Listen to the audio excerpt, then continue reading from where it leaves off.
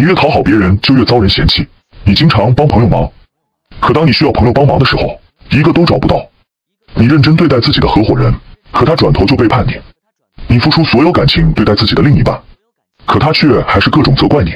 别再做卑微的烂好人的，别人绝对不会领情的。可能有人无法理解，事情为什么会发展成这样？难道这个世界上就没有真心换真心了吗？有这样的想法，只能说你在人性这个维度上没有觉醒，还在被过去的观念所误导。试着想想，你脑袋里对人的定义是什么？我想很多人都觉得人是天生善良的，坏人是少数的。其实人是不能用善良和坏来轻而易举的定义，人性非常的复杂。所以接下来我会与你聊一条非常深刻的人性逻辑。搞懂这条人性逻辑，你对人性的理解会上升几个档次，并且我不仅会说理论，还会说实操性的内容。当你理解这个人性逻辑之后，还会告诉你